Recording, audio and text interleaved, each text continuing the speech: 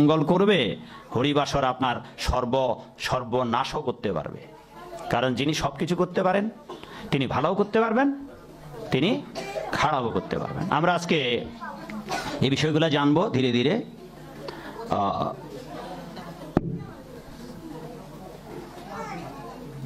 সতেরোতম বার্ষিকী, এই ভাগবতী অনুষ্ঠান, চল্লিশ প্রহর ব্যাপী এক নাম যজ্ঞানুষ্ঠান বিশ্ব শান্তির উদ্দেশ্যে পৌর পেয়ারপুরের ভক্তবৃন্দের উদ্যোগে।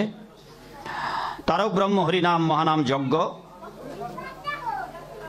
শ্রী শ্রী রাধা গোবিন্দ মন্দির, গণেশ পাগল সেবা, শ্রী শ্রী গণেশ পাগল সেবাশ্রম, পৌর পেয়ারপুর কুমারটেক মালোপাড়া ও দাসপাড়া, মাদারীপুর।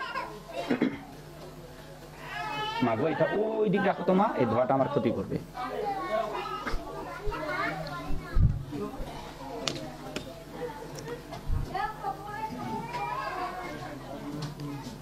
বাবা গণেশ পাগল, রাধা গোবিন্দের ভক্তবৃন্দ, পেয়ারপুর, কুমারটেক, মালোপাড়া এবং দাসপাড়া। ভক্তদের সমাবিবাহারে এই ভাগবতী অনুষ্ঠানের সূচনা লগ্ন উপস্থিত ভক্তবৃন্দ, মায়েরা, আন্তর্জাতিক কৃষ্ণ ভাবনামৃত সংঘ, ইস্কন বাংলাদেশ তথা দিনাজপুরের ভক্তদের পক্ষ থেকে। আমি আপনাদের সকলকে সভক্তি প্রণাম জানাই। আপনারা সকলেই আমার ভক্তিপূর্ণ প্রণাম গ্রহণ করুন।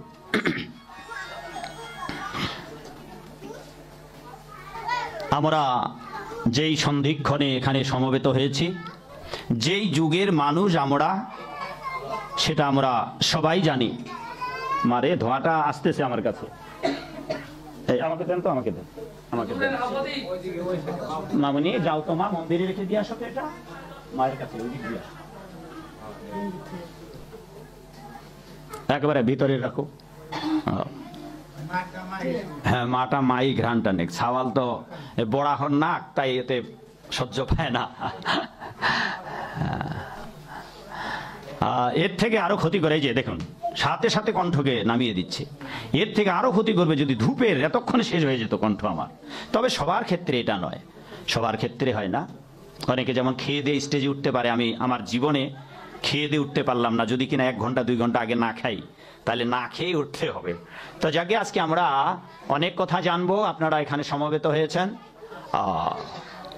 আমাদের বৈদিক শাস্ত্রে বলা হয়েছে সত্যযুগ ত্রেতা যুগ, দাপর যুগ, আর আমরা এখন যেই যুগে অবস্থান করছি, এই যুগটির নাম হচ্ছে কলিযুগ। এই বাবা, এই তোমরা বসো, বাবা, বসো। সবাই বসো, নিচে আসো। আর তোমরা যদি আমাকে দেখতে চাও, কাছে আসো। দূরে থেকে বুঝতে পারবে না। এদিকে আসো এদিকে আসো। সামনে আসো। এ বাবা, তুমি দেখতে বাবা ওখানে বসলে? আচ্ছা কিন্তু বাইরে যাবে না। বাবা, তুমি তিলক দিয়ে বসে পড়ো। সবাইকে তিলক দেওয়া শেষ করে বসে পড়ো। বসো বসো বাবা, বসো। বসো বসো। হুম। তোমরা কেউ দৌড়াদৌড়ি করবে না। কেমন? চারি যুগে চারি ধর্ম জীবের কারণ, কলিযুগের ধর্ম হয় নাম সংকীর্তন অতএব কলিযুগে নাম যজ্ঞ সার, অন্য কোনো ধর্ম করলে নাহি হবে পার।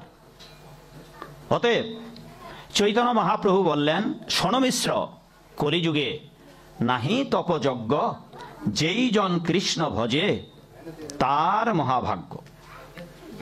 যারা কৃষ্ণ ভজন পরায়ণ, ওই দিক দিয়ে এখানে ঢেলে দিন সব। যারা এই কলিযুগে ভাগ্যবান ব্যক্তি, কেবল তারাই কৃষ্ণের ভক্ত হওয়ার সৌভাগ্য অর্জন করবে। এখানে আপনারা যারা সমবেত হয়েছেন, যারা এখানে উপস্থিত হয়েছেন, তারাও ধন্য। চারি যুগ বলা হয় নাই ধন্যাস্তে সত্য যুগৌ বলা হয়নি ধন্যাস্তের ত্রেতা যুগৌ ধন্যাস্তে দাপরে যুগৌ। পরন্তু বলা হয়েছে, ধন্যাস্তে কলৌ যুগে। এই কলিযুগ ধন্য। এই কলিযুগে আমরা যারা জন্মগ্রহণ করেছি, তারা ধন্য। এই কলিযুগে জন্মগ্রহণ করে যারা বৃন্দাবনে জন্ম লাভ করেছে, তারা আরও ধন্য। বৃন্দাবন, মথুরা, দ্বারকা, পুরীধাম, শ্রীধাম নবদ্বীপ বাংলাদেশের চট্টগ্রামে, রাজশাহীতে, সিলেটে, যশোহরে যারা জন্মগ্রহণ করেছেন, তারা, তারাও ভাগ্যবান। কলিযুগে যারা জন্মগ্রহণ করেছেন, তারা সবাই ভাগ্যবান। তাদের থেকে ভাগ্যবান যারা এই এই পুণ্য ভূমিতে জন্মগ্রহণ করেছেন ভারত ভূমিতে জন্মগ্রহণ করেছেন। এবং বাংলাদেশের যে কয়েকটি জেলার উল্লেখ করলাম, সেই সেই জেলায় যারা জন্মগ্রহণ করেছেন। কলিযুগের সাধারণ মানুষের থেকে এরা বহু গুণে ভাগ্যবান? আরও আপনারা যারা এই পেয়ার, কি বাবা? পৌর পেয়ারপুর। হ্যাঁ পৌর পেয়ারপুর, কুমার টেক। এখানে থেকেও আপনারা পৃথিবীর সবচেয়ে ভাগ্যবান মানুষ হয়ে যেতে পারবেন। কি করে? কারণ সবাই যদি আমরা বৃন্দাবনে যাই, নবদ্বীপে গিয়ে বসবাস করি তাইলে এই ভৌম বৃন্দাবন এবং নবদ্বীপে সারা বিশ্বের কেবল হিন্দুগুলোই যদি বসবাস শুরু করে দেই, তাতে জায়গা কুলাবে না। হ্যাঁ? সেরকম হবে। তা কাজে এই আমরা যাতে করে বাড়িতে থেকে বাড়িটাকে বৃন্দাবন করতে পারি। বাড়িটাকে মথুরা, দ্বারকা, পুরীধাম, শ্রীধাম, নবদ্বীপে পরিণত করতে পারি। সেই জন্যে আপনি যদি এইভাবে নিজের ভক্তি জীবন গড়ে তোলেন তবে আপনার ওই বাড়িটাও নবদ্বীপ হয়ে যাবে। বাড়িটাই বৃন্দাবন হয়ে যাবে। আর আপনি সারা পৃথিবীর শ্রেষ্ঠ ভক্ত বলে পরিণত হবেন। কি করে? এই কলিযুগের যুগধর্ম পালনের মধ্য দিয়ে চৈতন্য চরণে আশ্রয় নিয়ে যদি ভগবদ গীতার আদেশে, আদর্শে ভগবান শ্রী রাধা গোবিন্দের ভক্ত হয়ে যেতে পারেন, তবে আপনি সারা পৃথিবীর সবচেয়ে ভাগ্যবান ব্যক্তি হয়ে যাবেন। তখন আপনার বৃন্দাবনে না গেলেও চলবে। যদি আপনি বাড়িতে বসেই কৃষ্ণ ভজন পূজন করতে পারেন, তবে সেটাই আপনার বৃন্দাবন। বাবা, আমি এই তুলসী দেবীকে, মা, আবার ওখানে জানতো তুলসী দেবীকে উপরে উঠে রাখেন। আচ্ছা মালাটা নিয়ে সমস্যা নেই, মালাটা আমি নিজেও পড়তে পারব। হরিবল দিলেই হলো। হরে কৃষ্ণ। এবার এটা উপরে দেন। হ্যাঁ। তাও হলো না। ঠিক আছে। বড় একটা ছোট যদি টুল থাকতো তাহলে এইটা বরাবর এমন করে দেওয়া যেত। হ্যাঁ মা? আছে কোনো? কিন্তু এটা তো অনেক উঁচু হবে দেন দেখি তাহলে দেখতে পাবে না আমার থাক, থাক। একটা ছোট টুল থাকলে এটার সমান দেওয়া যেত। হ্যাঁ সেটাই বলতেছিলাম বাবা। ওখানে আমি উপরে বসে আছি। আর যিনি আমাদের ভক্তি প্রদান করবেন, যিনি কলিযুগের মানুষকে মুক্তির দ্বারে নিয়ে যাবেন, মুক্তির পরপারে নিয়ে যাবেন, তাকে যদি নিচে বসায় রাখি, তো আমাদের ভক্তি লাভ হবে নাকি গলায় ফাঁস চড়বে তা জয় তুলসী মহারানী কি? তাইলে আমরা কি করে আমরা পৃথিবীর সবচেয়ে ভাগ্যবান মানুষ হতে পারব? যদি আমরা এই কলিযুগের যুগ ধর্ম প্রচারক প্রবর্তনকারী চৈতন্য চরণে আশ্রয় নিয়ে ব্রজেন্দ্র নন্দন যেই শচীসুত হইল সেই, বলরাম হইল নিতাই। বৃন্দাবন লীলায় যিনি কৃষ্ণরূপে এসেছিলেন, তিনি এবার এলেন নদিয়ায়, আবার সেই তো এসেছে। ব্রজ হতে নদিয়ায় সেই এসেছেন। এবার ব্রজভূমিতে লীলা কালে তিনি বলেছিলেন, আমি পরমেশ্বর ভগবান। তোমরা আমাকে ভজনা করো। আমাকে ভজনা করো, আমাকে ভজনা করো। আর তার জন্য ভগবত গীতায় অনেক কথা বলেছেন ভগবান। ভগবত গীতায় ভগবান অনেক কথা বলেছেন। আপনারা সবাই না জানলেও অনেকেই তো জানেন ভগবত গীতায় কতকগুলো শ্লোক আছে। কিরে মা- মামনি গীতা কতগুলো শ্লোক আছে মা? তোমরা জানো? ওই যে আঠারো হাজার। অধ্যায় আঠারো, আমি তো অধ্যায় জানতে চাইনি, মাগো। আঠারো হাজার শ্লোক, সেটি গীতা নয়। গীতা সেটি নয়, আঠারো হাজার শ্লোক বলতেছেন, যেটার কথা সেটি হচ্ছে ভাগবতম। অনেকে মানুষ এই তফাত না বুঝে তারা একসঙ্গে উচ্চারণ করে ভাগবত গীতা। কখনোই ভাগবত গীতা নয়। এই বানানটা দেখুন তো, এখানে আকার আছে। শ্রীমৎ ভগবত, এইবার যখন আকারটা লাগাবেন ওখানে, তখন হবে ভাগবত। যখন আকার থাকবেন আপনাদের একটা পার্থক্য বুঝিয়ে দেই। যখন আকার থাকবে না, তখন হবে গীতা, আর তখন গীতার শ্লোক সাতশো। কিন্তু এখানে যদি আকারটা দেওয়া হয়, তখন এই গীতা শব্দটি চলে যাবে। ভাগবতম, তখন হবে আঠারো হাজার শ্লোক। কেবল আকারটার জন্য, আকার যদি না থাকে, তাহলে ভগবান যা বলেছেন, সেইটা।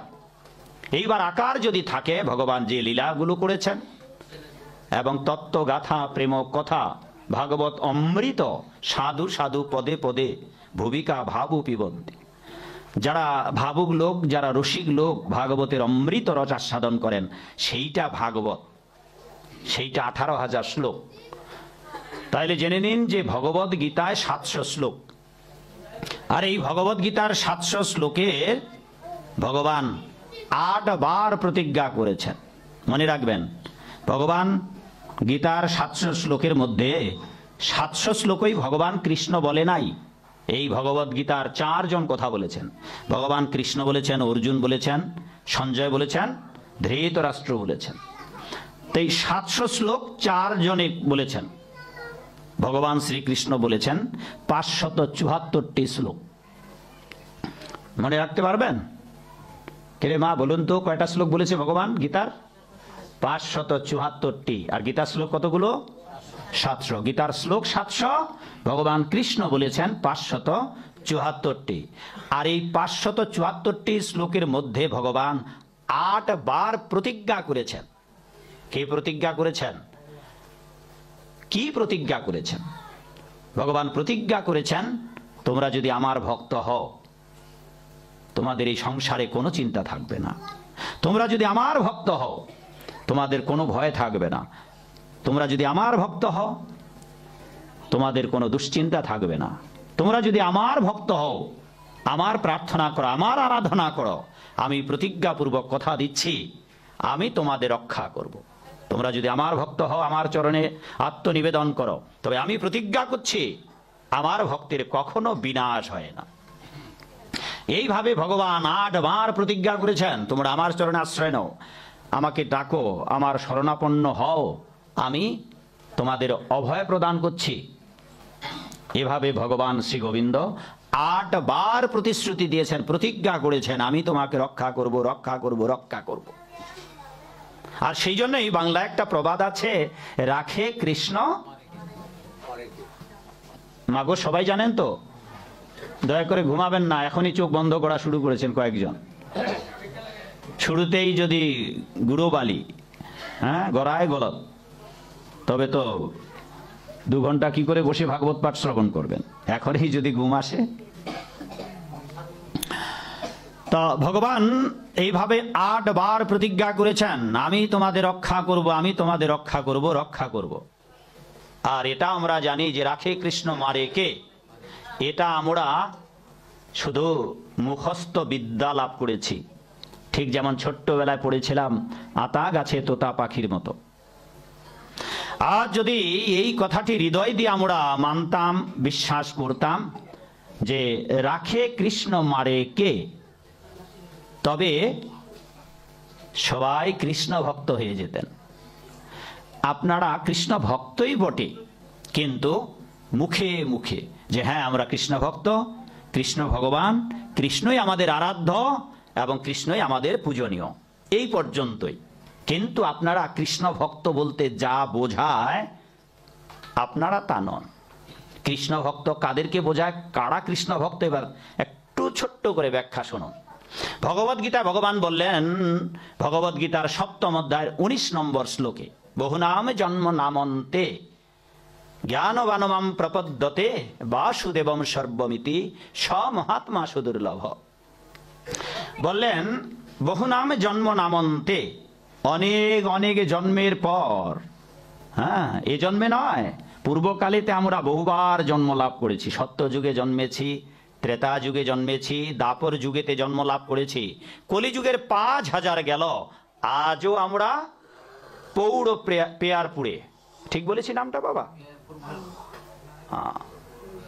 পৌর পেয়ারপুর। আজও আমরা এখানে আছি। আমরা পূর্বকালেতেও ছিলাম, আজও আছি।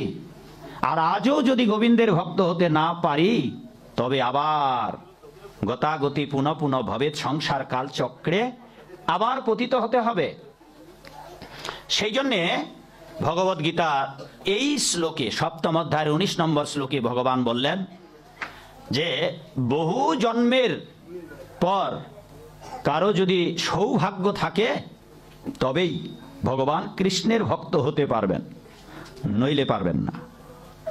তার বড্ড প্রমাণ, এখানে মা দাঁড়িয়ে আছেন, অনেক মায়ের ভক্ত আছেন, বাবা ভোলেনাথ আছে, ভোলেনাথের ভক্ত আছেন, বাবা গণেশ ঠাকুর, আপনাদের এলাকার যিনি গণেশ পাগল তার ভক্ত আছেন। মনসা দেবীর কেউ আর পূজা করে তার ভক্ত আছে। ব্যবসায়ী যারা, তারা বিশ্বকর্মার পূজা করেন, সিদ্ধি লাভের জন্য কেউ গণেশের পূজা করেন, ধন সম্পদ লাভের জন্য লক্ষ্মী পূজা করেন, বিদ্যা লাভের জন্য সরস্বতী পূজা করেন, যৌবন লাভের জন্য বীরত্ব লাভের জন্য কার্তিক পূজা করেন। সবার অনেক ভক্ত আছে, কিন্তু such a great soul is very very rare. হে অর্জুন জগতে কতজনের কত ভক্ত আছে, কিন্তু আমার ভক্ত জগতে দুর্লভ। ওই ভগবদ গীতার সপ্তম অধ্যায়ের উনিশ নম্বর শ্লোকে বলেছেন, বহু নাম জন্ম নামন্তে জ্ঞানবানমাম প্রপদ্যতে, বাসুদেবম সর্বম ইতি। আমি বসুদেব তনয় বাসুদেব শ্রী গোবিন্দ সর্ব কারণের পরম কারণ। এইটা বহু বহু জন্মের ভাগ্য না থাকলে বুঝতে পারবে না। আর বুঝতে পারলেও আমার ভক্ত হতে পারবে না, কারণ ওই বুঝতে বুঝতেই কয়েক জনম কেটে যাবে। বোঝা গেল? কৃষ্ণ ভগবান, এইটা জানবার জন্য বহু জনম কেটে যাবে, কৃষ্ণ ভগবান। কারণ জগতে অনেক বিপদগামী এবং দুর্ভাগা হিন্দু, এই বাংলাতে হাজার হাজার হিন্দু আছে, যারা কৃষ্ণকে ভগবান স্বীকার করেন না। তার বড় প্রমাণ তাদের মন্দিরে রাধা কৃষ্ণ নাই, গিয়ে দেখবেন বড় বড় মঠ, মিশন, সৎসঙ্গ, বিহার। রাধা গোবিন্দ নেই। বৃন্দাবনে পাঠিয়ে দিয়ে নিজেরাই গোবিন্দের আসন দখল করে বসে আছে। আবার বাবা ভোলেনাথ, ওম নম শিবায়, ওম নম শিবায়, তাকেও কৈলাসে পাঠিয়ে দিয়ে মন্দিরে শিব নেই, মন্দিরে মা দুর্গা নেই রাধা গোবিন্দ তো নেই। এইভাবে বাংলার অনেক মানুষ আছে যারা কৃষ্ণ ভগবান মানেন না। আর সেই জন্য আজ থেকে হাজার হাজার বছর পূর্বে ভগবদ গীতার সপ্তম অধ্যায়ের উনিশ নম্বর শ্লোকে ভগবান বললেন বহু জন্মের ভাগ্য ছাড়া সুকৃত অর্জুন, যাদের সুকৃতি নেই, যারা পোড়া কপাল যাদের। এরা আমাকে জানতেই পারবে না, আর যদি ভগবানকে জানা এবং ভগবান শ্রী গোবিন্দের ভক্ত হওয়া অত সহজ হতো, তো দাপর যুগে কুরুক্ষেত্রের রণাঙ্গনে দাঁড়িয়েছিলেন। সেই কালে অর্বুত অর্বুত তার মানে সহস্র সহস্র মানুষ, লক্ষ লক্ষ মানুষ ভগবান কৃষ্ণকে সচক্ষে দেখেছেন। কিন্তু কৃষ্ণকে চিনতে পারল কজন? মাত্র হাতে গোনা কয়েকজন। আর বাকি সব দুর্ভাগা কুরুক্ষেত্রে যুদ্ধে সবাই পিষ্টিত হয়ে মারা গেলেন। এত গুণীজন ছিলেন, তারা পর্যন্ত চিনতে পারল না। সেই জন্যে আপনি মা দুর্গার ভক্ত হতে পারবেন খুব সহজে।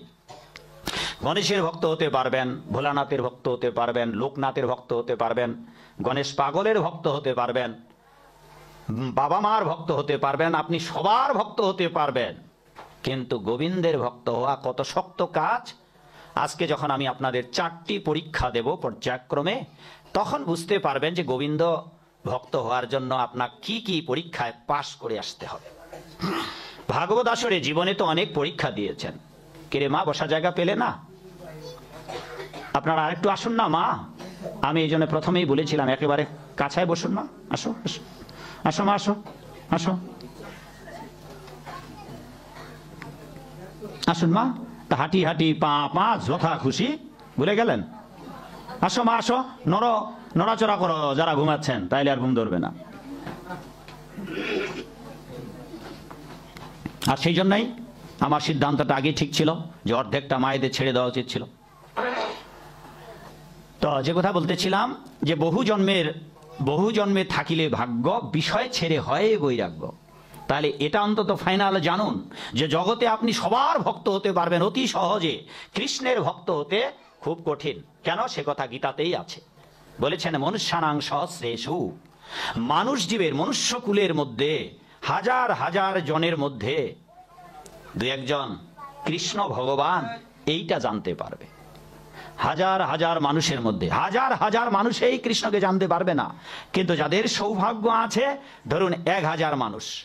এক হাজার মানুষের মধ্যে মাত্র দুজন কৃষ্ণকে জানলো যে কৃষ্ণই ভগবান। আবার এখানে আরেকটি গুরুত্বপূর্ণ কথা বলে দেই। কৃষ্ণই ভগবান। এখানে আছেন বাবা, সবাই তো কৃষ্ণ। বাবা, কৃষ্ণ ভগবান? কি নাম তোমার? সাগর। ও, সাগর এবার নদীর কাছে এসেছেন। প্রণাম। হ্যাঁ বৌমা আছে না বিয়ে করো নাই? বিয়ে করছ? ও, তাহলে তো আপনি বলতে হবে বাবা। হ্যাঁ? বৌমা আসছে? আসেনি আচ্ছা। সাগর এসেছে নদীর কাছে। হ্যাঁ? বাবা! বাবা আচ্ছা। ঠিক আছে, বাবা তো হতেই হবে, যখন বিয়ে করেছে, সাগর। হ্যাঁ নদী তো হবেই, কত কিছু হবে আরও। তো কি বলতেছিলাম? হ্যাঁ কৃষ্ণ ভগবান, মানেন? কৃষ্ণ ভগবান? বাবা, কৃষ্ণ ভগবান? কে ভগবান? যদি জিজ্ঞাসা করে আপনাদের, কৃষ্ণ ভগবান। কৃষ্ণ শুধু ভগবান নয়, কৃষ্ণস্তু ভগবান স্বয়ং। ভাগবতের প্রথম স্কন্ধেই বলে দেওয়া আছে। যে ভাগবতের অনুষ্ঠানের আপনারা এখানে আয়োজন করেছেন যদিও এখানে ভাগবত নেই, গীতা আছে, আমরা বৈদিক শাস্ত্রে, তাবৎ শাস্ত্রে ছোট ছোট করে দু একটি করে কথা বলব। অতগুলা শাস্ত্র আপনারা তো পড়েননি। অনেকেই গীতায় পড়েনি, বেদ চোখে দেখেনি, ভাগবতের আঠারো হাজার শ্লোক, ওই বলতে গিয়ে ভুল বলতেছে যে গীতার আঠারো হাজার শ্লোক, আঠারো অধ্যায়। ও, না না, এটা শুধু এখানে নয় বাবা, হাজার হাজার গ্রাম বাংলায় আমি হাজার হাজার প্রোগ্রাম করেছি।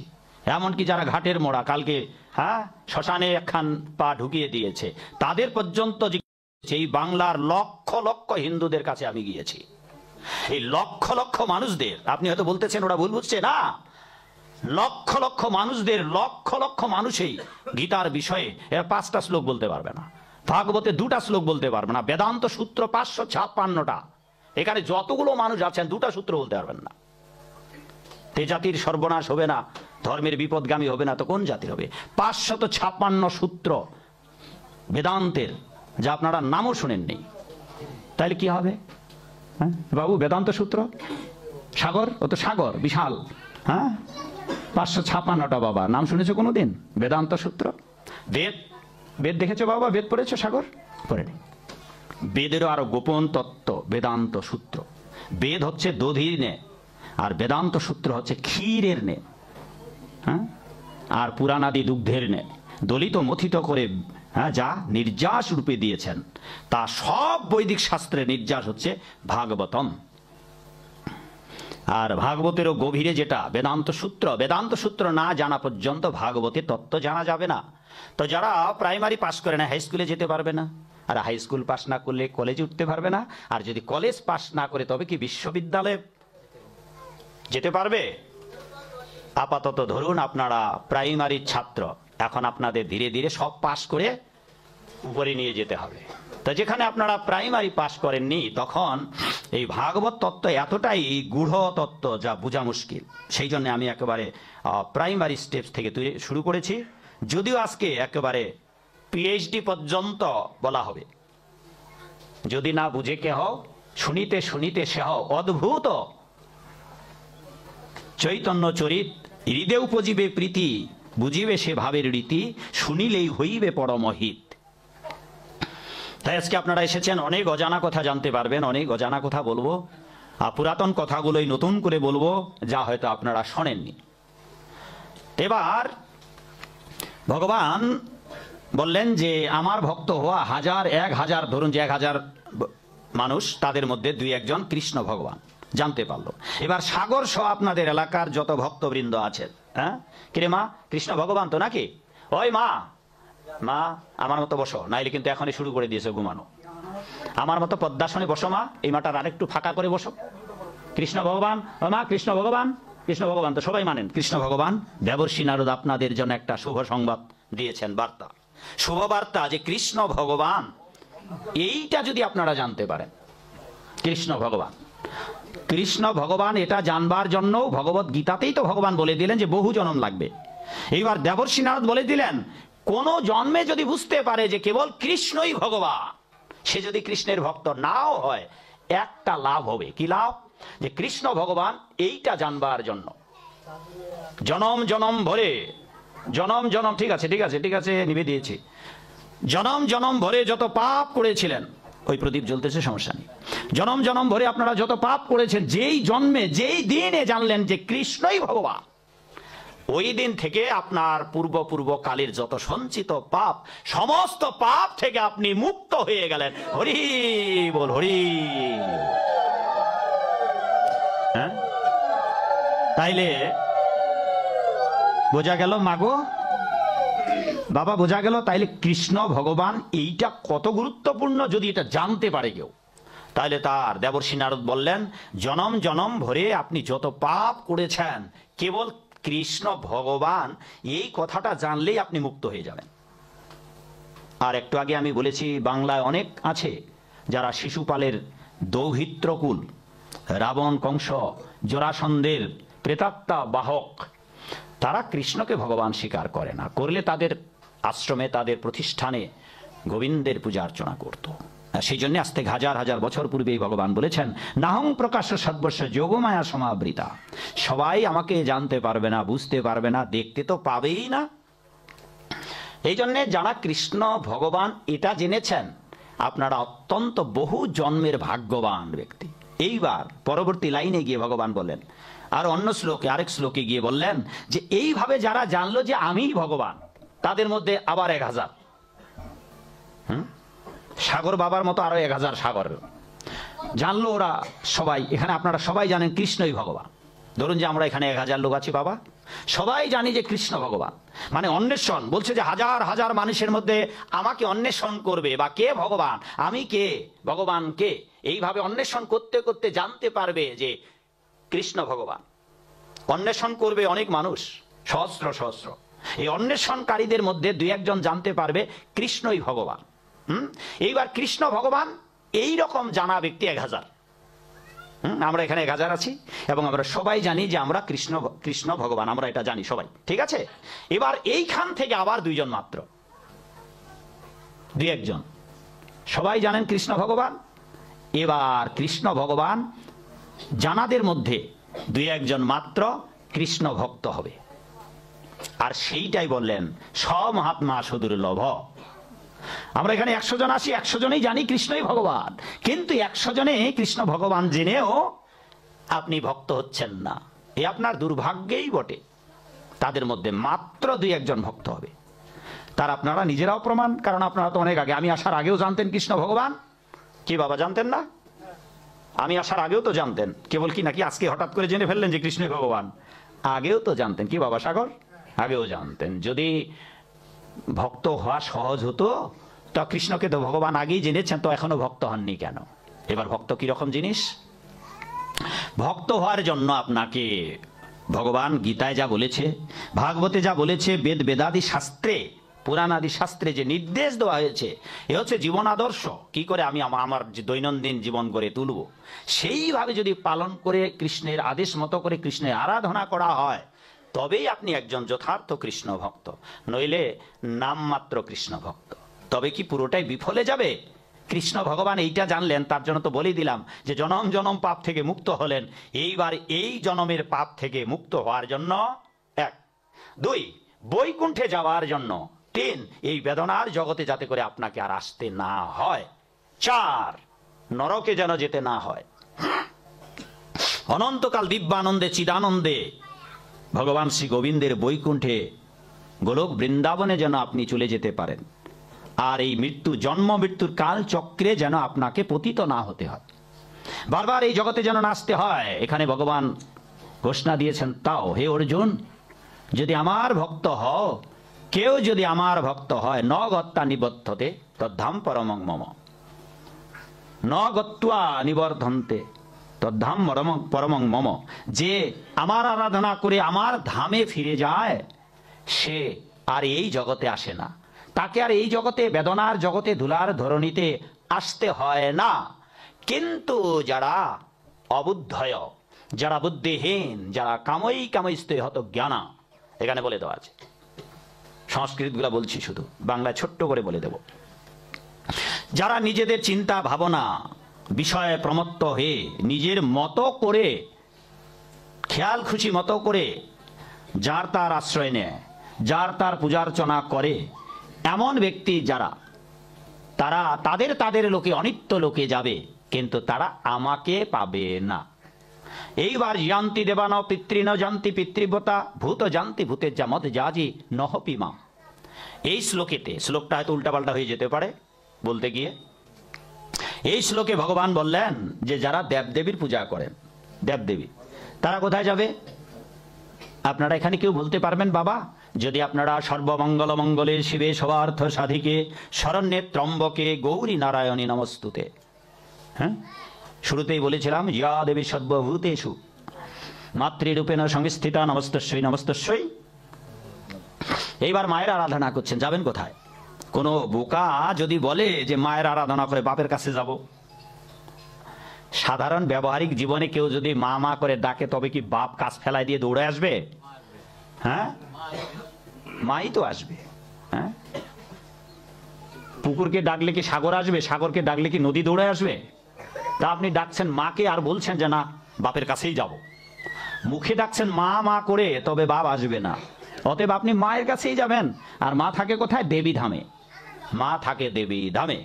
এইবার বাবা ভোলেনাথ ওম নম শিবায়, ওম নম শিবায়, ওম নম শিবায় শিবায় শিবায়। আপনি শিব ঠাকুরের ভক্ত, আপনি শিবালয়ে যাবেন। পিতা স্বর্গ, পিতা ধর্ম, পিতা হি পরমঙ্গ তপ। পিতরি প্রীতিমাপন্যে প্রিয়ন্তে সর্বদেব দেব আপনি যদি পিতামাতার নিষ্ঠা ভরে ভক্ত হন বাবা মাকে কোনো প্রকার আপনি কষ্ট না দেন, সেবা যত্ন করেন। এটি সকল সন্তানের দায়িত্ব। আর যদি এই দায়িত্ব পালনে আপনি অবহেলা করেন, তবে আপনার বিমুক্তি হবে না। তাই প্রতিটি সন্তানের আপনি আপনার বাবাকে উদ্ধার করবেন, আর আপনার বাবা তার বাবাকে উদ্ধার করবে। এইভাবে আবার আপনার পুত্র আপনাকে উদ্ধার করার চেষ্টা করবে। এইভাবে সব পুত্ররাই তার তার তার তার উপরের বাবাকে উদ্ধার করবার চেষ্টা। এইবার আপনি পিতৃভক্ত হলেন, পিতৃলোকে আপনি যাবেন। তাই এই জায়গায় ভগবান বললেন, সব গীতার শ্লোক বলতেছি কিন্তু এতক্ষণ ধরে। বললেন যে, হে অর্জুন, তারা পিতৃলোকে যাবে। যারা শ্মশানে মশানে গিয়ে ভূত পেতনির আরাধনা করে, তারা ভূতলোকে যাবে। আর যারা দেবদেবীর আরাধনা করে, তারা দেবলোকে যাবে। তারা আমাকে পাবে না। কেবল আমার যারা আরাধনা করে। হ্যাঁ? ভগবানের রাজ্যে যাওয়ার জন্য আপনাকে শ্রী গোবিন্দের আরাধনা করতে হবে। নয়তো আবার এই বেদনার জগতে আসতে হবে সেটাও এখানে বলেছে। যে জন্মগ্রহণ করেছে জাতর্ষহি। ধ্রুব অমৃত জন্ম যতস্ব চ, বা হ্যাঁ? এই শ্লোকে। ভগবান বলেছেন যারা জন্মগ্রহণ করেছে তারা মরবে। এবং যারা মরেছে তারা কি হবে বাবা? তারা আবার জন্মাবে? হ্যাঁ জন্মাবে না? তা সেই জন্যে এখানে বলা হলো, যারা জন্মগ্রহণ করেছে তারা মরবে এবং যারা মরেছে তারা জন্মগ্রহণ করবে। অতএব, ততদিন পর্যন্ত জন্মাতেই থাকবে, মূর্তেই থাকবে মূর্তেই থাকবে। যে জাতস্বই ধ্রুব মৃত এই ভগবত গীতার দ্বিতীয় অধ্যায়ের সাতাইশ নম্বর শ্লোক। যে জন্মগ্রহণ করেছে তাকে মরতে হবে, যে মরেছে তাকে জন্মাতে হবে। পুনরূপী জনম, পুনরূপী মরণ, পুনরূপী জননী জঠরে শয়ন। বারবার জন্মাতেই থাকবেন, মরতেই থাকবেন মরতেই থাকবেন, জন্মাতেই থাকবেন। ততদিন পর্যন্ত আপনি মরতে থাকবেন, জন্মাতেই থাকবেন। যতদিন পর্যন্ত মন কৃষ্ণ পদার বিন্দয় যতদিন পর্যন্ত মন, প্রাণ, মানস, দেহ, গেহ, যো কিছু মোর, অর্পিলু তুয়া পদে নন্দ কিশোর। আপনার দেহ, মন, প্রাণ, যা কিছু আছে, সমুদয় যদি গোবিন্দের চরণে নিবেদন না করেন গোবিন্দকে উৎসর্গ না করেন, গোবিন্দের কাছে আত্মসমর্পণ না করেন, তবে আপনাকে এই জগৎ সংসারে বারবার আসতেই হবে। আপনি জগতের যারই আরাধনা করেন, যদি গোবিন্দের আরাধনা বাদ দিয়ে, কোথায় বলে না, আমাদের কত কোটি দেবতা? হ্যাঁ? যদি আমরা এতগুলা দেবতার নাম জানি না, তেত্রিশ কোটি বলা হয় হ্যাঁ? কেউ বলে তেত্রিশটা সংখ্যা, সে যাই হোক, তেত্রিশ সংখ্যা হলো বা তেত্রিশ কোটি হলেও আপনি যতগুলা দেবতা দেবী আছে, বাবা মা আছে, আপনি জগতের সবার যদি আরাধনা করেন, তাও এই জগতে আসতে হবে। যতদিন পর্যন্ত কেবল সর্বকারণের পরম কারণ, শ্রী গোবিন্দ, যিনি এই ভগবত গীতা, জীবের কৃপায় কৈল কৃষ্ণ বেদ ও পুরাণ আমাদের উদ্ধার করবার জন্য ভগবত গীতা দান করেছেন, ভাগবত দান করেছেন, যার অনুসরণে আমাদের জীবিকা নির্বাহ বা জীবন নির্বাহ করা উচিত। যদি আমরা সেইভাবে আমাদের জীবন নির্বাহ করি, তবেই আমরা এই বেদনার জগৎ থেকে বিদায় নিতে পারব। আর ভগবান তো আগে বলেছি, বাবা, মাগো আটবার প্রতিজ্ঞা করেছেন যে আমাদের কোনো চিন্তা করতে হবে না। তিনি আমাদের রক্ষা করবেন। কেবলমাত্র আমাদের একটা কাজ করতে হবে, সেটা হচ্ছে আমাদের ভগবানের ভক্ত হওয়া উচিত। তাইলে শেষ। তাইলে আর কোনো ঝামেলা নেই বা কোনো সমস্যা নেই ভগবত গীতার ওটা যেমন দ্বিতীয় অধ্যায় সাতাশ নম্বর শ্লোক, এবার ভগবত গীতার দ্বিতীয় অধ্যায়ের চল্লিশ নম্বর শ্লোকে ভগবান বললেন স্বল্প মপস্য ধর্মস্য ত্রায়তে মহত ভয়া, কেউ যদি অল্প পরিমাণ অল্প পরিমাণ, সামান্য, এই যে ফুল, একটি ফুল, এগুলো হয়তো আপনাদের বাজার থেকে কিনে নিয়ে আসতে হয়েছে, তাই না? মাগো, এগুলা বাজার থেকে কিনে নিয়ে আসতে হয়েছে। আর যদি নিজে লাগাতে পারতেন, তাহলে আর কিনতে হতো না। আর রাস্তার ধারে অনেক ফুল এমনি পাওয়া যায় না তুলতে গিয়ে। গাছে হ্যাঁ লাগালে গাছ। কেবল একটি ফুল ভগবত গীতায় ভগবান বললেন, পত্রং পুষ্পং পুষ্প মানে ফল পত্র মানে তুলসী পাতা, তয়াম জল। হাতে এইভাবে করে যতটুকু এখানে জল ধরে এক গন্ডুস ততটুকু যদি ভক্তি ভরে ভগবানকে নিবেদন করেন, তবে বলল স্বল্প মপস্য ধর্মস্য কেউ যদি অল্প পরিমাণ ধর্ম যজন যাজন করে, অল্প পরিমাণ হ্যাঁ? ফুল যদি ভগবানের চরণে অঞ্জলি দিয়ে হ্যাঁ? নিবেদন করেন, অল্প পরিমাণ। এতে গন্ধ পুষ্পায় হ্যাঁ? ওই একটি ফুল ভগবানকে অর্পণ করলে জীবনের যত রকমের ভয় আছে, তাবৎ স্বল্প মপস্য ধর্মস্য ত্রায়তে মহত ভয়া, মহা বিপদ থেকে আপনাকে উদ্ধার করবে। যদি গোবিন্দের উদ্দেশ্যে আপনি সামান্য জলটুকু অর্পণ করেন কিন্তু আমরা কি করছি? কোন সন্তান যদি নিজের গর্ভদাত্রী মাতাকে পরিত্যাগ করে অন্য মায়ের আশ্রয় নেয় বা পিসাচিনীর আশ্রয় নেয়, তো আমাদের পুরাণ শাস্ত্রে বলা হয়েছে, গোবিন্দের আরাধনা বাদ দিয়ে যা ক্ষণিক এবং অনিত্য, যার লোক অনিত্য, যেই আরাধনায় আপনি নিত্য আলয়ে ভগবত ধামে যেতে পারবেন না, এমন আলয়ের যদি আশ্রয় গ্রহণ করেন, তবে বলা হলো শাস্ত্রে সে গর্ভধারিণী মাতাকে পরিত্যাগ করে এক পিসাচিনীর আশ্রয় নেওয়ার মতোই হলো। সেই জন্য আমাদের সর্বতভাবে জানতে হবে। এবং যেটা আমি আগেই বলেছি যে ভগবানের ভক্ত অত্যন্ত কঠিন কাজ, সেই কঠিন কাজটাই আপনাকে মনুষ্য জন্মে করতে হবে। কেননা চৌরাশি লক্ষ প্রজাতির, এক প্রজাতি মাত্রই মানুষ। এই মনুষ্যকুলেই অদ্বিতীয় মাধ্যম ভগবানকে আরাধনা করা। বাকি কোন প্রজাতিতে আপনি ভগবানকে ডাকবার সুযোগ পাবেন না। যদি হাতি হয়ে জন্মান, বটগাছ হয়ে জন্মান, বড় বড়গুলোর কথা বলতেছি, আপনি ভগবানকে ডাকবার সুযোগ পাবেন না। জল, তলদেশের সবচেয়ে বড় প্রাণী তিমিঙ্গিল এখন নেই। তিমি, বৃহৎ প্রাণী। হ্যাঁ জলস্থি। সেইখানেও আপনি ভগবানকে ডাকবার সুযোগ পাবেন না। সেই জন্য আচার্যরা বলেছেন, সকল জনমে পিতা মাতা সবই পায়। হাঙ্গর হয়ে যখন জন্মাবেন তখনও মাতা পিতা থাকবে। কুমির হয়ে যখন জন্মাবেন তখনও মাতা পিতা থাকবে। হ্যাঁ? হাতি একবারে নিচে। যত কিছু জীবজন্তু জন্মাবো আমরা, সব জন্মে মাতা পিতা আছে। কেবল কেবল এক জন্মে গুরু আর গোবিন্দ। অন্য কোনো জন্মে আপনি গুরু ভজনা আর গোবিন্দ ভজনা করতে পারবেন না। এইবার যেই জন্মে আপনি গোবিন্দের ভজনা করতে পারবেন, সেই জন্মটাও যদি ভোগ করে কাটিয়ে দেন। তো শাস্ত্রে বলেছে রে নির্বোধ, এই ভক্ত তুমি যখন হাতির পেটে ছিলা, হাতির বাচ্চা হয়েছিল, তখনও ভোগ করেছ? তুমি যখন বাঘের বাচ্চা হয়েছিল, তখনও ভোগ করেছ? হ্যাঁ এখন মাংস খাওয়ার জন্য ললুপতা নিয়ে তুমি ছুটোছুটি করছ, গাদা খাটুনি খাচ্ছ, যখন তুমি বাঘ ছিল, তখনও তুমি মাংস খেয়েছো। আর তখন তরতাজা আরও তরতাজা খেতে পেরেছ। এখন তো কত কষ্ট করে বাজারে টাকা দিয়ে কিনতে হয়, তারপর বাটো, কুটো, মশলা হ্যাঁ রান্না বান্না, কত টাকা পয়সা খরচ করে খাচ্ছ, আর বিনে পয়সা ধরেছ আর খেয়েছ, তাতেও তোমার তৃপ্ত হলো না? হ্যাঁ? যখন তুমি পেঁচা হয়ে জন্মিয়েছিলে, দিনে রাতে ঘুমিয়েছিলে, দুই এক ঘণ্টা মাত্র বের হয়ে কোটরা থেকে বের হয়ে পোকামাকড় খেয়ে কাটিয়েছ। আর এখন মনুষ্য জীবন পেয়ে এখনও যদি তুমি ঘুমাতেই চাও, হুম? নিঃশ্বাস তো পূর্বকালেতেও নিয়েছিলা, যখন গোমাতার পেটে ছিলা, গরু হয়ে জন্মাইয়েছিলা তখনও নিঃশ্বাস নিয়েছ, তখনও খেয়েছ, তখন খেয়েছো ঘাস, আর এখন খেয়েছো অন্ন, ব্যঞ্জন আদি। তো একটাই তো হলো, তখনও খেয়েছিলা এখনও খাচ্ছ। তখন খেয়েছিলা ঘাস পাতা, আর এখনও হ্যাঁ সাধুরাও ঘাস পাতা খায়। তো খাওয়া তো একই হলো। তাই সেই জন্য ভাগবতে বলা হলো, আহার নিদ্রা ভয় মৈথুনাঞ্চ, এই চারটি প্রবৃত্তি সবার আছে। সবার চারটি প্রবৃত্তি খাব, ঘুমাবো, ইন্দ্রিয় তৃপ্তি করব, সন্তান উৎপাদন করব, চার নম্বর, আত্মরক্ষার জন্য নিজেকে বাঁচানোর চেষ্টা করব। এই চারটা প্রবৃত্তি সবার আছে মাগো। হ্যাঁ যদি নিচে নেমে বলি, তবে কুকুরও খায়, ঠাকুর যারা তারাও খায়। হ্যাঁ আমাদের মতো যারা ঠাকুর, চতুষ্পদ কুকুরও খায়, ঠাকুরও খায়। কুকুরও ঘুমায়, ঠাকুরও ঘুমায়। কুকুরও শ্রান্তি, ক্লান্তি, বিনোদনের জন্য ঘুমিয়ে পড়ে? আমরাও ঘুমিয়ে পড়ি বিশ্রামের জন্য। কুকুর পথে ঘাটে যৌন ক্রিয়ায় লিপ্ত হয়। ভদ্র সমাজ, সভ্য সমাজের মানুষ বিবাহিত জীবনে সংসার উৎপাদন করে রমন ক্রিয়া করে। আর এখানে যদি বোমা হামলা হয়, আমরা আত্মরক্ষার জন্য ছুটে পালাবো। কুকুরকেও যদি তাড়া কনে সেও নিজে রক্ষা করার জন্য। তার এই চারটি প্রবৃত্তি সবার আছে, বাবা? একটি প্রবৃত্তি অন্যান্য প্রজাতির নেই। যদি আপনারা আপনাদের এলাকার মানুষদের, এটা তো ওরা পড়তে পারবে না কোনো পশু। এই জগতের মানুষ বাদ দিয়ে এই পেপারটা পড়তে পারবে কোনো প্রাণী।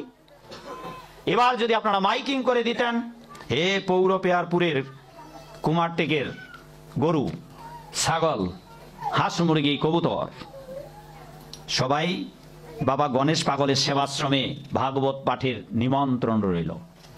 হ্যাঁ? কে হবে বাবা? তো আপনাদের এলাকার নিজেদের বাড়িতে যা যা গৃহপালিত পশু আছে মা, ওগুলার যদি গলার দড়িগুলো খুলে দিতেন, তবে কি রাস্তা দিয়ে সারি সারি সারি সারি করে এই ভাগবত আসরে আসতো বাবা? আপনারা মানুষ তাই তো এসেছেন। এইবার মানুষ হয়েও যারা দু পায়ে ভাবছে, যারা সাধু কথায় দিলে মন ভিটে বাড়িতে গাছবে বন। আর এই সাধুদের কথা কি শুনব? ওই গলে মালা পরো, কপালে ফোঁটা মারো, মাথায় টিকি রাখো। এটা খাওয়া যাবে না, ওটা খাওয়া যাবে না। আরে বাপ, চোদ্দ গোষ্ঠী ধরে করে আসলাম, আর এখন এরা নতুন নতুন বৈরাগী, নতুন নতুন নিয়ম আনতেছে। হ্যাঁ ওগুলো আমরা জানি, ওদের থেকে আমরা ভালো জানি। এরকম যারা দুর্ভাগা আছে, তা গরু ছাগলকে নিমন্ত্রণ দিলে, মাইকিং করলে যেমন তারা ভাগবত আসরে আসবে না। মনুষ্যকুলে জন্মগ্রহণ করেও যারা ভাগবত আসরে আসে না, তাদের জন্য পুরাণ শাস্ত্রে সাবধান করে দেওয়া আছে। তাদের জন্য বলা হয়েছে, এরা গোখর, এরা গরু নয়তো গাধা। যারা ভাগবত কথা শুনবার জন্য নিজের দুখানা দুর্লভ পা যা তার বাপ দেয়নি, যা তার মা দেয়নি, যেই দুখানা পা মায়ের গর্ভে থাকার সময় ভগবানের কাছে প্রার্থনাও করেনি, যে হে গোবিন্দ, আমি যাতে করে হাঁটতে পারি সেই জন্য তুমি আমায় দুখানা পা দিও, কথা বলতে পারি তার জন্য মুখ দিও, যেন দেখতে পাই তার জন্য আমার দুটো চোখ দিও। কেউ প্রার্থনা করেছিলাম আমরা? কিন্তু কৃপাময়ের কৃপা বুঝিলাম কই? কৃপাময় জগদীশ্বর ভগবান, তিনি আমাদের সব দিয়েছেন। মহাভারতে সহস্র নাম আছে গোবিন্দের, তার মধ্যে একটা নাম হচ্ছে ঋষিকেশ। আমাদের চোখ, কান, নাক, মুখ, জিহ্বা, চর্ম, সবগুলাকে সংস্কৃতে বলা হয় ঋষিক আর তিনি আমাদের এগুলা দান করেছেন, সেই জন্য বিশেষণযুক্ত নাম মানে বিশেষণযুক্ত। হ্যাঁ? সেই জন্য ভগবানের নাম ঋষিকেশ। এই জন্য ভাগবতে বলা হলো, ইন্দ্রিয়ের দ্বারা ইন্দ্রিয়ের অধীশ্বর। ঋষিকেশ ঋষিকেশেন ভক্তির উত্তমা। ইন্দ্রিয়ের দ্বারা যিনি ইন্দ্রিয়ের অধীশ্বর, যিনি আপনাকে হাত, পা, চোখ, কান, নাক দিলেন, এইগুলা সব অঙ্গ দিয়েই আপনি ভগবানের আরাধনা করুন।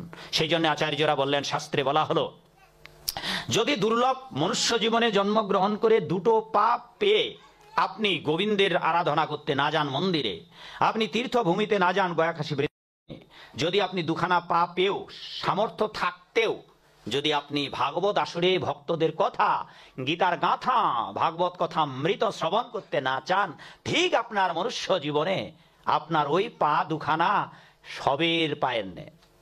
মানে মৃত ব্যক্তির পায়ের নে। যা কোনো কাজে আসবে না, যেই দুখানা পা দিয়ে আপনি গোবিন্দের মন্দিরে যেতে পারলেন না। মরবার পর আপনাকে নরকে যেতে হবে, আর নরকে নিয়ে গিয়ে যমরাজ আপনার জন্য দুটো অপশন দেবেন। মাগো, ঘুমাচ্ছ? মাস্ক পরা মা। ঘুমাচ্ছ? বড় করে চোখগুলা তাকিয়ে থাকুন। আর আমার মতো পদ্মাসনে বসুন যদি কারও ঘুম ধরে। তাহলে ঘুমাবে না। আর ঘুম যদি ধরেও, পড়ে যাবেন আর উমনি জেগে উঠবেন। হ্যাঁ? কি হবে? যমরাজ আপনাকে নিয়ে যাবে। নিয়ে যাওয়ার পর অপশন দুটো দেবে। রে, নরাধম, তুমি নিজে পা দুখানা তৈরি করো নাই। আমার গোবিন্দ তোমাকে পা দিয়েছিল গোবিন্দের আরাধনা করার জন্য, গোবিন্দের মন্দিরে যাবার জন্য। তুমি তোমার দুখানা পা দিয়ে মনুষ্যকুলে জন্মগ্রহণ করেও গোবিন্দের মন্দিরে যাও নাই। এখন তোমার জন্য দুটো অপশান রয়েছে। এবার নির্বাচন করো, কি করবে? হয় তোমাকে আরও দুখানা পা বোনাস দেওয়া হবে। হুম? এই দুই পায়ে গোবিন্দের মন্দিরে যাচ্ছেন না, দুই পায়ে সাধুর কথা শুনতে যাচ্ছেন না। পরজন্মে মাগো আপনাকে আরও দুখানা পা বোনাস দেওয়া হবে। এই একটা অপশান একটা সুযোগ। দ্বিতীয় সুযোগ, যদি আপনি আরও দুখানা পা বোনাস না চান, তবে এবার আপনাকে পদহীন হয়ে জন্মাতে হবে। হ্যাঁ? বাবা, আপনি কোনটা নেবেন বলেন তো? দুটো অপশন দিল আপনাকে যমরাজ। যে এবার চারখানা পা হয়ে জন্মাবেন, নাকি পা ছাড়া জন্মাবেন? বাবা শুনতে পাচ্ছেন আমার কথা? এটা শুনতে পাচ্ছেন? দাঁত আছে মুখে দাঁত আছে? একটাও নাই? তাইলে আমরা অন্নপ্রাশনের আয়োজন করব। বাবা খুব মনোযোগ সহকারে শুনতেছে করে হাঁ করে। ভাবছে যে সারা জীবন তো ওইভাবেই কাটালাম। আফসোস। তো এবার বোঝা গেল মাগো দুটো অপশন দেওয়া হবে। যদি গোবিন্দের মন্দিরে গিয়ে গোবিন্দের পূজা না করেন, প্রতিদিন যদি গোবিন্দকে না স্মরণ করেন, পা দুখানা বাড়িয়ে দেওয়া হবে, বোনাস দেওয়া হবে দুখানা পা। তো এবার চারখানা পা। কার কার আছে বাবা? তোমার নাম কি এই আপেল? হ্যাঁ? শুভম। কার কার চারখানা পা আছে বাবা? চারখানা ঠ্যাং কার আছে। খুঁজে দেখো। কার চারখানা পা আছে? হুম? কোন ক্লাস পড়ো? ক্লাস ফোরে পড়ো, আর কার চারখানা তোমার কয়খানা পা? চোখ কয়টা? নাক? মা কয়টা? বাপ? মাত্র? তোর হিসাব ভুল হয়ে গেছে। তা এই হচ্ছে অবস্থা মাগো আর এবার খুঁজে বাইর করো, কেউ বলবেন না, দেখি ক্লাস ফোরে পড়ো। এবার কার পা নাই? এমন কোন প্রাণী খুঁজো, কার পা নাই? যেমন এমন করে হাঁটে, পা নাই? আর কি? তুমি নিজে বলার চেষ্টা করো। এবার এই প্রাণীতে জন্ম হতে হবে বাবা। ভেবে দেখুন, বড় অসহায়। এখন পা আছে, আপনি অপব্যবহার করছেন মনুষ্য জীবনের পরজন্মে আপনার হয় পা থাকবে না, নয়তো বোনাস অনেকগুলো পা পাবেন। হয়তো কাঁকড়া হয়ে জন্মালেন। এই জন্মে কাঁকড়া খেয়েছেন তো নাকি? আপনাদের এলাকার মানুষ কাঁকড়া খায়? খায় না? খায় না? কাসুম খায়, কাসুম কচ্ছপ। খায় না? ছাগল খায়? ছাগল, মাংস? খায়? ছাগলও খায় না? কিচ্ছু খায় না সব সাধু। আরে বাপ রে বাপ। সবটাই বলছে না না। মুরগি? এইবার তাইলে যা যা খাচ্ছেন পরজন্মে অপেক্ষা করুন। ওই ওই জন্মে জন্মাতে হবে। ওই ওই প্রজাতিতে। বাবু বসুন যারা দাঁড়িয়ে আছেন দরজায় একটু হ্যাঁ কাছে এসে বসুন। হ্যাঁ চাপ বাবা চাপুন চাপুন বাবা চাপুন। আমি এই জন্য একসঙ্গে বলেছিলাম যে আর ফাঁকা রাখবেন না। তা যে কথা বলতেছিলাম যে এইভাবে আমাদের অনেক প্রজাতিতে জন্ম নিতে হবে। হুম, কেল্লা হয়ে জন্মাতে হবে, কাঁকড়া হয়ে জন্মাতে হবে, বৃষ্টি হয়ে জন্মাতে হবে হ্যাঁ তেলা পোকা হয়ে জন্মাতে হবে হ্যাঁ টিকটিকি হয়ে জন্মাতে হবে। যদি আপনারা এই দুর্লভ মনুষ্যকুলে জন্মগ্রহণ করে ভগবানকে না ডাকেন হ্যাঁ এবার আমরা কি করছি? জগতের এক প্রজাতি মাত্র মানুষ। বাকি সব স্থাবর জঙ্গম, খেচর, ভুচর, জলজ, স্থলজ, অন্ডজ, সেদজ হ্যাঁ? এদের আপনাদের এলাকায় তো অনেক পশু পাখি আছে। পাখি, বাবা মাটির নিচে অনেক পোকামাকড় আছে। আপনার বাড়িতে পিঁপড়া আছে, তেলাপোকা আছে। এদেরকে খাইতে দেন আপনারা? কেউ খাইতে দেয় জগতের কোনো প্রাইম মিনিস্টার, কোন সরকার? জলের মধ্যে, সাগরের মধ্যে যে জীবজন্তুগুলো থাক, আছে, ওদের কেউ খেতে দেয়? জঙ্গলের মধ্যে গভীর অরণ্যে যে জীবজন্তুগুলো আছে, ওদেরকে কেউ খেতে দেয়? ওরা খেতে পায়। আর পৃথিবীর শ্রেষ্ঠ জীব আমরা আমরা খেতে পাই না।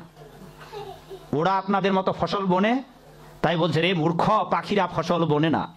পাখিরা কাটে না, তাদের অফিস আদালত নেই, তাদের মিছিল মিটিং করতে হয় না, হরতালও নেই হ্যাঁ?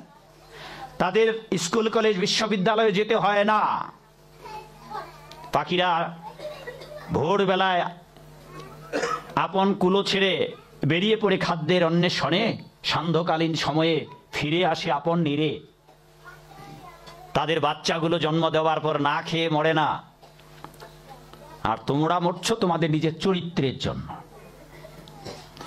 জগতের এত প্রাণী যাদের কেউ খাদ্য নিজেরা তৈরি করে না। হাতি, আফ্রিকার জঙ্গলে শত শত কিলোমিটার বন আর বন, কঙ্গো। কোটি কোটি দুই একটা না, দুই একশো না, দুই এক হাজার নয়, কোটি কোটি হাতি রয়েছে। কে খেতে দেয় জঙ্গলে হাতিদের? বাঘ, আমাদের বনেও তো বাঘ আছে, সুন্দরবনে। কেউ খাইতে দেয়? হ্যাঁ? হরিণ, শিয়াল, শকুন, এরা সবাই খেতে পাচ্ছে। ওই মা, কথা বলছেন নাকি ও? ওই বাচ্চাগুলো কথা বলবে না বাবা। নাইলে কিন্তু শীতের দিনে তোমাদের শাস্তি দেব। সোয়েটার খুলে নেওয়া হবে কিন্তু কথা বললে। তাহলে বোঝা গেল? তাহলে পাখি বনে না, কাটে না। পরম পিতা, পরম করুণাময়। হাতির তিনশো কিলো। হাতি, এক একটা হাতি তিনশো চারশো কিলো খেতে পারে। মানে কয়েক মন খেতে পারে। আর পিঁপড়ার একটা ছোট্ট, কি বাবা, কি বলে? ছোট একটা জিনিস, টুকরা, দানা। তাহলে ভেবে দেখুন, পিঁপড়ার একটা দানার হাতির তিনশো কিলো। এইগুলা জগতের কেউ দেয় না তৈরি করে। কলা গাছ কি আমার বাপ, আপনার বাপ তৈরি করে? পিঁপড়ার একটা দানা খুঁজে খুঁজে বের করতে হয়। এই দানা জগতের কোনো মানুষ তাকে পরিবেশন করে না। পরম করুণাময় জগতের মানুষদের সবার খাওয়ার যোগান দিচ্ছে। আর আমরা স্ত্রী, পুত্র, পরিবার, পরিজন, আত্মীয়, স্বজন, বিয়াই, বিয়ানি, শ্বশুর, শাশুড়ি, শালা, শালি, আর নিজের পেটটার চিন্তায় এত ব্যস্ত হয়ে গেলাম, পেটটা পেটটা পেটটা পেটটা নিয়েই ব্যস্ত। হুম? তাই বলছে রে মূর্খ, ওরা তো বনে না, কাটে না, তাই তো ওদের কোনো চিন্তা নাই, আর তুমি পেট নিয়ে এতটাই চিন্তা। সেই জন্য শাস্ত্রকারেরা ব্যাসদেব বললেন, আচার্যরা বললেন, রে মূর্খ, তুমি যখন মায়ের গর্ভে ছিলে, জন্মের পর কি খাবে? গর্ভে চেয়েছিলে যে জন্মের পর ছোট্ট একটা শিশু, কোনো কিছু চিবাইতেও পারব না, বলতেও পারব না কেমন লাগতেছে, কি অবস্থা? তুমি কি মায়ের গর্বে হইয়াছেন আর হবেন যত মাতা পিতা গণ হ্যাঁ? কেউ কি প্রার্থনা করেছিলেন মায়ের গর্ভেতে পেড়েতে? যে গোবিন্দ, আমি জন্ম নিয়ে কি খাব? তার জন্য আমার মায়ের বক্ষে অমৃত ধারা দুগ্ধ ধারা দিও পৃথিবীর কোনো ব্যক্তি প্রার্থনা করেছে।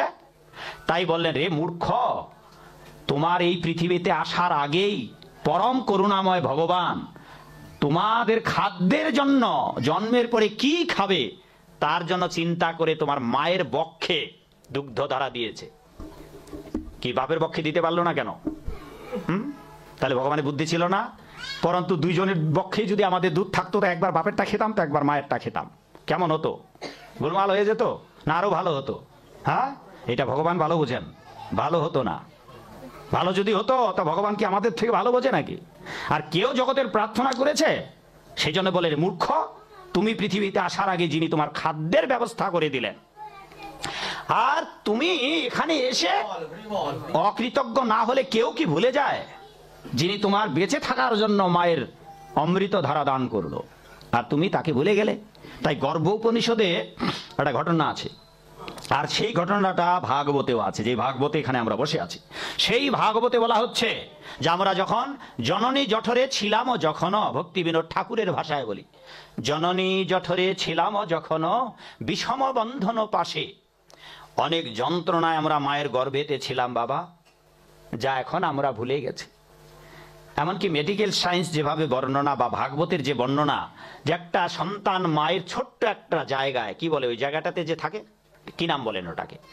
জঠর বা কে? আর কি নাম? মায়েরা কি? আপনার সন্তান কোথায় থাকে? গর্ভে। যে জায়গাটাতে, পাত্রটাতে থাকে, ওই পাত্রটার নাম কি? পেট। কি অদ্ভুত মা আপনারা! সবাই মা হয়েছেন। আর এখন বলতে পারছেন না? জননী জঠরে ছিলাম, জঠর, অথবা মাতৃকুক্ষি হ্যাঁ? অথবা জরায়ু। সব ভুলে গেছেন, কারণ বের হওয়ার সাথে সাথে সব ভুলে। ওইখানে এত কষ্ট, মাথাটা এখানে বুকের মধ্যে, পা দুখানা পাজরের এখানে, এটে সেটে। আর মায়ের নাভি দিয়ে মানে আপনার নাভি মায়ের লাড়ি বুড়ি দিয়ে, পেঁচিয়ে পেঁচিয়ে, পুরো জায়গাটা দুর্গন্ধ প্রসাব দ্বারা পূর্ণ। প্রসাবের মধ্যে আপনি ভেসে আছেন। মা ঝাল, মরিচ টরিচ খাচ্ছে, লবণ খাচ্ছে, আদা খাচ্ছে, তিতা খাচ্ছে, টক খাচ্ছে, সব বর্ণনা রয়েছে। যেগুলা যেগুলো খাবেন, আপনার সন্তানের পার্শ্ব প্রতিক্রিয়া। আর তার সব যন্ত্রণা বাচ্চাটাকে পেতে হচ্ছে। তা আমাদের ভাগবত আচার্যরা বলেছেন মাতৃ গর্ভে যে যন্ত্রণা আমরা পেতাম, এই যন্ত্রণা যদি বাস্তবে এখন দেওয়া হয়, তো কয়েক সেকেন্ডের মধ্যে আমরা মরে যাব। ভগবানের কৃপায় মায়ের গর্ভে অতি কষ্টে আমরা বেঁচে ছিলাম আর এখানে এত কষ্ট। কি কষ্ট? কেমন কষ্ট? বলা হচ্ছে আগ মারাই মেশিনে, আগ যেমন পেশন করা, রস বের করার জন্য, এমন নিদারুণ যন্ত্রণার মধ্যে থেকে কখনো বা মূর্ছা যেতাম, কখনো বা কেঁদে কেঁদে আকুল হতাম, কখনো বা ছটপট করতাম। যন্ত্রণায়। আর যখন ছটপট করতো, মায় ভাবতো যে না, আমার সন্তান জীবিত আছে। এর অর্থ এটা নয়। আর বিশেষ করে সপ্তম মাসে। বিজ্ঞান পর্যন্ত বলেছেন, মায়েরা শুনুন, যারা মা হয়েছেন, যারা মা হবেন, তারা ভালো করে শুনুন। সপ্তম মাসে মেডিকেল সায়েন্স পর্যন্ত আধুনিক সভ্যতার যুগে, যান্ত্রিক যুগে প্রমাণ করেছেন, সপ্তম মাস থেকে দশম মাস গর্ভ সঞ্চার বাইরে না আসা পর্যন্ত বাচ্চাটা মায়ের পেটে যা যা শ্রবণ করেন, সব রপ্ত করে ফেলেন। এই জন্য সপ্তম মাস থেকে আপনাকে সাবধান থাকতে হবে।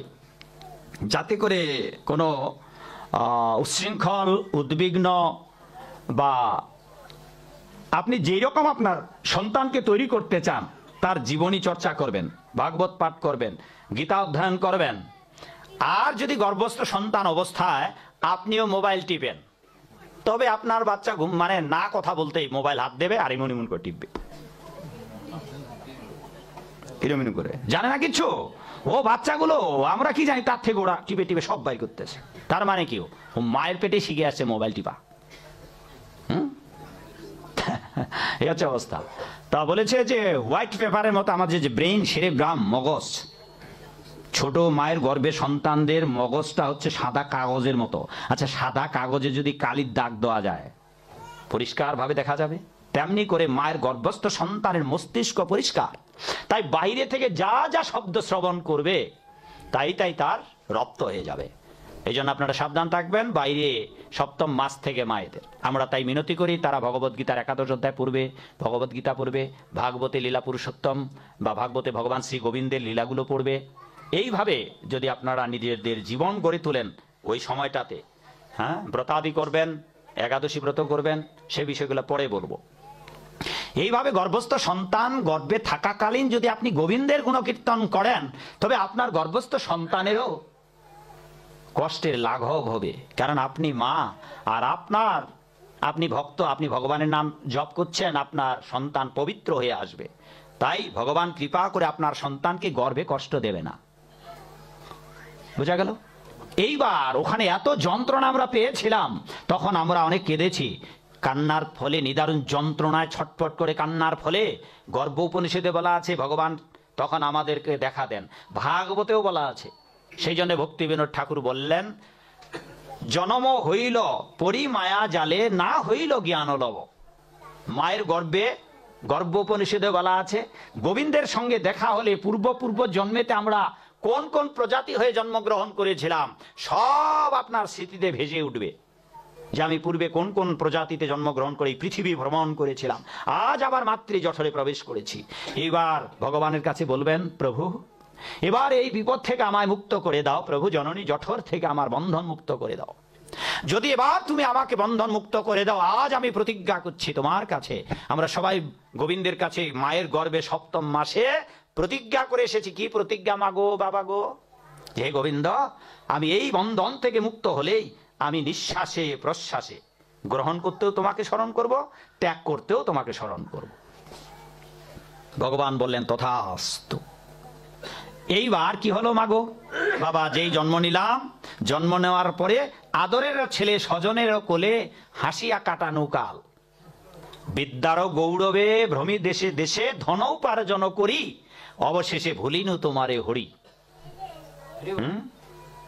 মায়ের গর্ভে এক- যখন ছিলাম, একবার দেখা দিয়েছিল, আর এবার আবার হারিয়ে গেল। আর এই কান্নাকাটি রোল, এ নিচ্ছে কোলে, ও নিচ্ছে কোলে, এই সব মায়ায় মোহে পড়ে ভগবানের সঙ্গে যে প্রতিশ্রুতি দিয়ে এলেন, কথা বলে এলেন মায়ের গর্ভে। আর এই মায়া মরিচিকার মধ্যে সংসারের মায়ায়, পেছনে ছুটতে ছুটতে সংসারের ঘানি টানতে টানতে আপনি হত চৈতন্য অচৈতন্য হয়ে গেলেন। ভুলেই গেলেন আপনার। ভগবানের সাক্ষাতে প্রতিজ্ঞার কথা। পরিণাম কি হলো? আপনি বলেছিলেন যে আমি নিঃশ্বাসে প্রশ্বাসে তোমার নাম স্মরণ করব। বিজ্ঞান পর্যন্ত বলেছেন। আমাদের শাস্ত্রে বলেছে, কয়বার নিঃশ্বাস নেই এবং ত্যাগ করি। বাবা, একুশ হাজার? জানেন একুশ হাজার? কতবার? কেউ জানেন না? একুশ হাজার? হ্যাঁ একুশ হাজার ছয়শো বার। আর আমাদের ভক্তরা জপ করেন সাতাইশ হাজার।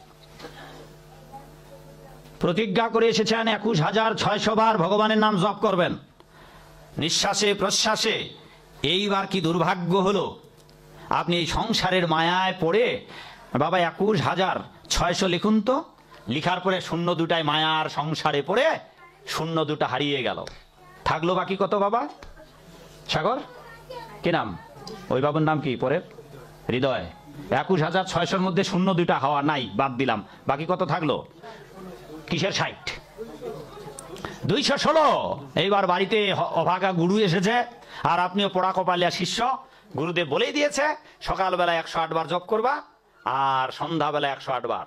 আর গোলে হরি বল খাইও মাগুর মাসে ঝোল, শুইও রমণীর কোল, সকালে একবার বলি একশো আট বার, আর সন্ধ্যা একশো আট বার বলিও, তাতেই তুমি চলে যাবে বৈকুণ্ঠ।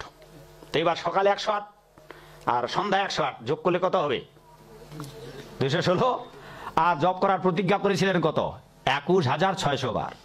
তাই মায়ার সংসারে পড়ে শূন্য দুটা হাওয়া হয়ে গেল। এখন জব সকালবেলা একশো আট, সন্ধ্যাবেলা একশো আট। আবার অনেকে দুর্ভাগা আছে, পোড়া কপাল, ও আবার ওই একশো আট বারও জব করে না। শেষ। দিবস রজনী আবুলো তাবুলো পচালো পারিতে পারে। বক বক বক বক বক বক বক বক, আগডুম, বাগডুম আগডুম, বাগডুম করছে। এমন কি লাগি আইলি ভবে? এমন জনমে হরি না ভজিলি, সে তুই মানুষ কবে মানুষ আকার হইলে কি হয়? করহ ভূতেরও কাম নহিলে বদনে কেন না বলহ কৃষ্ণ গোবিন্দ নাম? হুম, দিনরাত শুধু বক বক বক বক করছ? তোমার অবস্থাটা তো ওই ব্যাঙ্গের মতো।